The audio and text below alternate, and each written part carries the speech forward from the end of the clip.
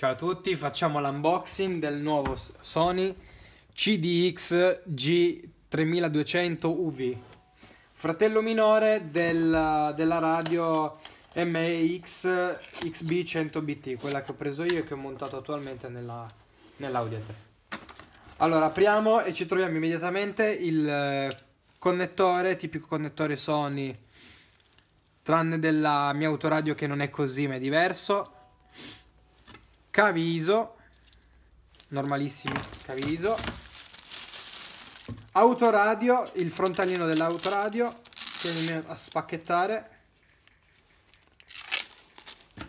Veramente bello.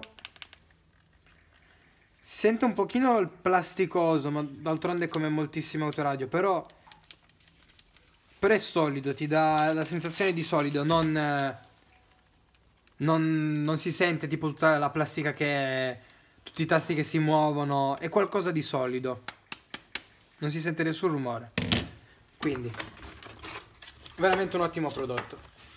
Allora, intanto abbiamo l'equalizzatore a 10 bande, un'uscita massima di 55 watt per canale, il che significa che saranno siano 22 22,5 in RMS Funzione ehm, supporta il formato FLAC, questa è un'ottima cosa. Karaoke Q, questa qui è una funzione che vorrei provare. Uh, aux frontale, USB frontale, questo qua, qui browser penso sia per cercare nei file del telefono, tipo che ne so le canzoni, non so.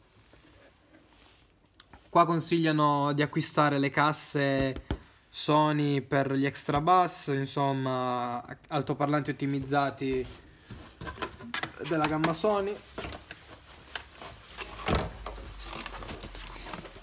Un manuale. Andiamo a vedere le specifiche. Vediamo se ci dà qualche allora intanto si può aggiornare quindi eh, allora modello compatibile sono rimasti all'iPhone 6s Plus quindi non sarà cioè è compatibile lo stesso con iPhone 7 o 8 insomma. Io per esempio avendo l'iPhone 7 Plus mi, mi compatibile anche sul, sulle altre radio insomma. Allora qui abbiamo lamp- allora generali. Impedenza dei 4.8 ohm solitamente 4 uscite vabbè.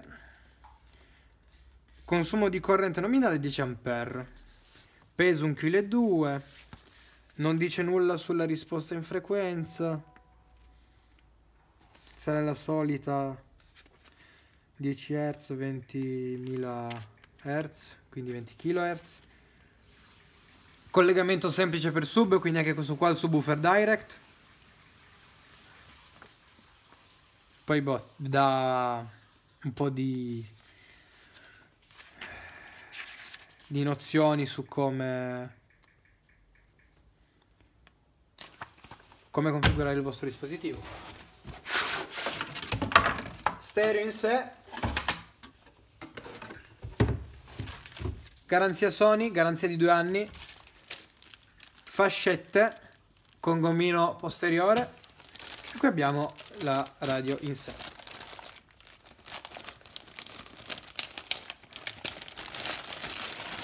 Ah.